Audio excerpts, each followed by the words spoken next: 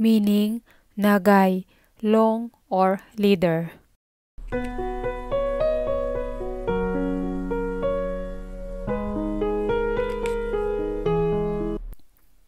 Meaning shiroy or white. So, ayan po guys, no? Nakita nyo po ba kung paano po natin sinulat ang mga kanji characters related to places, directions, verbs, and adjectives po. Guys, no? Marami po ba tayong natutunan for today's vlog po? So, tuloy-tuloy lang po tayo sa pag-aaral natin ng Nihongo po. So, magkita-kita na naman po tayo sa mga susunod kong vlog, guys, ano?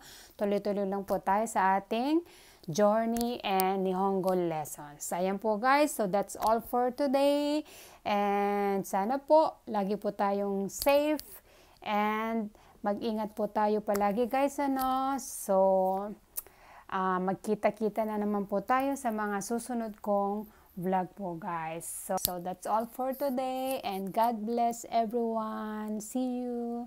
Sayonara. Bye-bye.